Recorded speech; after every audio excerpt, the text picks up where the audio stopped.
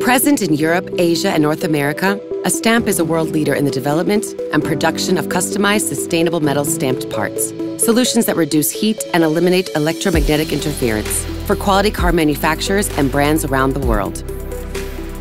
As part of our culture of customer satisfaction, we turn challenges into opportunities and problems into solutions. We help our clients achieve their goals with new mobility technologies. Thanks to our history of gaining know-how in the field of stamping, we present the bipolar plate for fuel cell and electrolyzers. The bipolar plate will become key for the fuel cells to generate electricity from hydrogen and for electrolyzers to make hydrogen gas from renewable sources.